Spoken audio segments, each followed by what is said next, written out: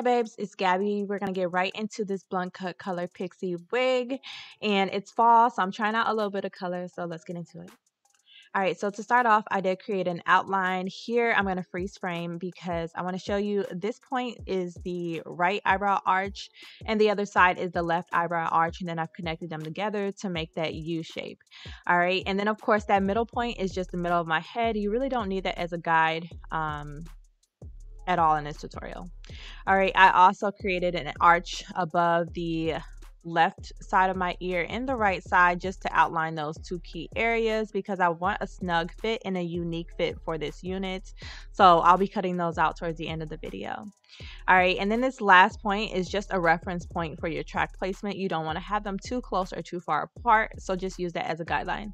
So getting into the hair, I wanted to add just a little bit of black in the back. Um, so I'm going to use hair that I've used previously with my other pixie wigs, and we're just going to go for the smallest um, track. All right, so track placement and how to lay your tracks. This is to be that section of the video for you. All right, so obviously I've got the first track laid and I did go ahead and secure this unit with a bunch of pins around the perimeter so that it does not move during the placement. And do not sew through the ear, sew around the ear because again, we're to be cutting that out at the end. All right, so as you can see here, I went around the ear and I'm just above the ear at this point. so we are done with the black and now we're going to get into some color. I bought some thread. Um, it's about a 30 color, I believe, um, but it works just well for the 27 as well. So we're going to lay the 27 color here first. Um, make sure you secure the edges of the track so that it does not lift at the end of this tutorial because we're going to be doing a lot of cutting a lot of things to this unit and you don't want anything to be lifting during that process. All right, so here is that completed first colored track. And we're gonna go in with this 30 right here. All right, and we're just gonna alternate the two. We're gonna go with the 27 and then we're gonna go with the uh, 30 after that. All right, and I also want to mention don't go into that U shape just yet. We're just going to build until we get to the top of this unit. So stop at that white guideline um, U shape at the top, and then we'll be good to go. All right, so as you can see here, I added the colors. It looks really, really good. I love the way it's looking right now. And here at this point, we're gonna start to lay the tracks from left to right and straight across. All right, all the way up to that white guideline, and then we're gonna stop. All right, so as you can see here, I'm going in with the color and we're just gonna lay the tracks straight across, still alternating the colors, and then eventually we'll close it up.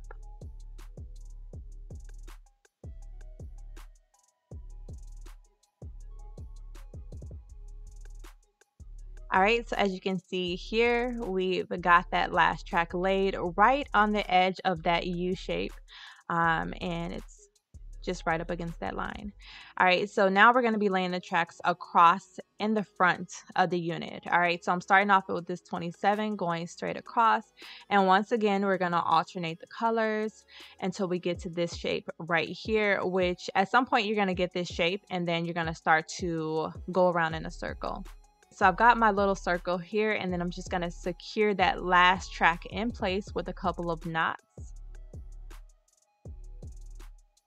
Clip it. Now it's time for the closure. So I decided to go with the 30 just because I thought it looked better.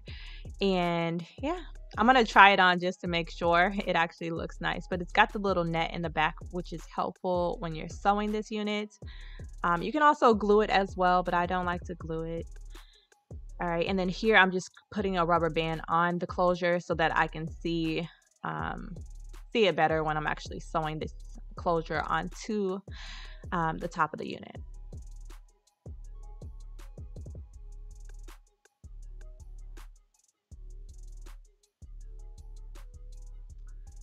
So at this point, we're just going to smooth everything out and see how it's looking.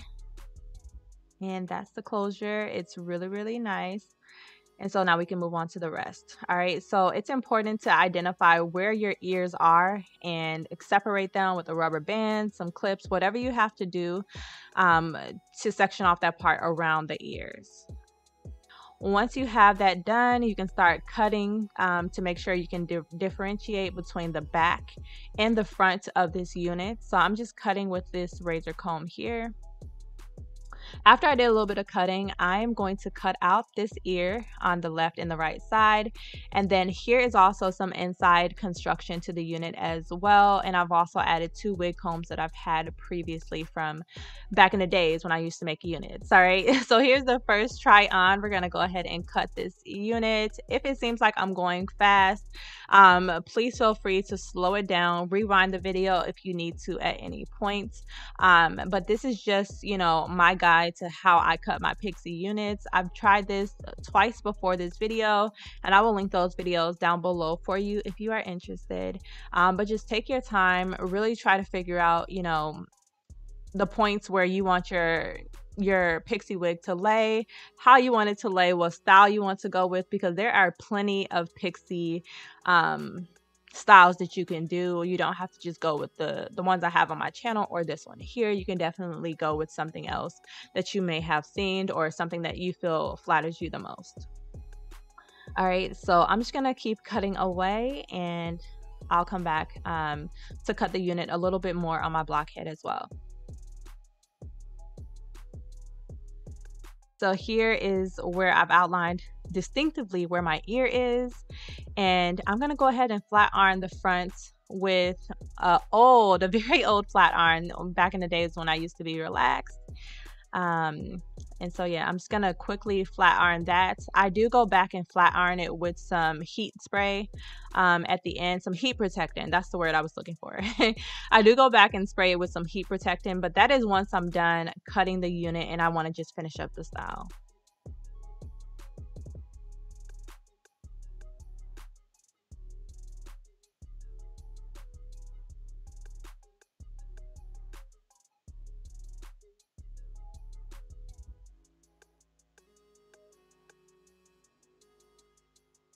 All right, and I'm just razoring a little bit more of the back.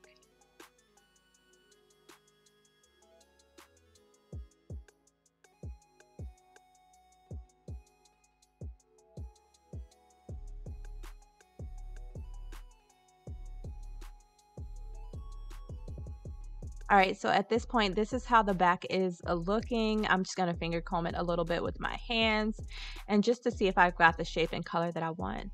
Okay, so here is the final try on and here's where I'm to add all of the finishing touches to this unit. And as you can see here, I've already uh, flat ironed the unit with, um, what is it? The heat protectant. All right, so that's why it looks so smooth and shiny. All right, so we're just gonna comb it out, add some finishing touches, add some last minute cuts, and also add a little bit more color to this unit. I'm gonna show you how to do that in just a moment.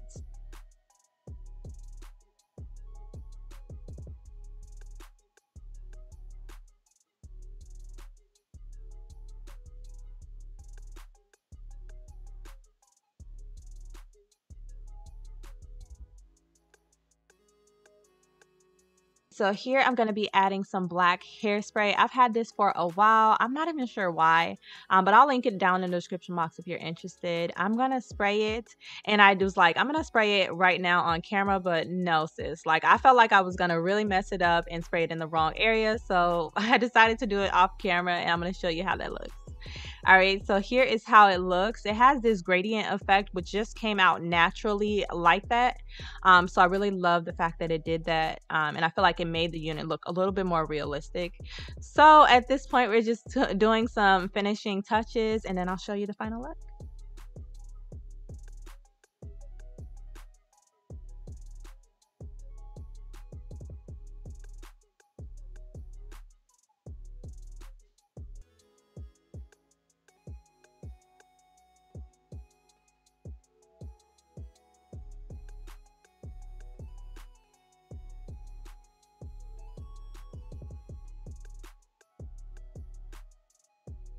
All right, so here is the finished look. I still feel like I'm going to do a little bit more cutting, but this will work for me for now. Um, this is the unit back on my block head, and I'm just going to give you a few more angles just so you can see this unit in detail. Um, if you guys have any questions, leave them in the comment section below, but this is my second, or this is my third attempt at a pixie wig, and I'm just getting better and better with time. So I'm going to show you all the angles, how this wig looks. The color mix is just popping. I love the way it's layered and cut. And yeah, this just works for me.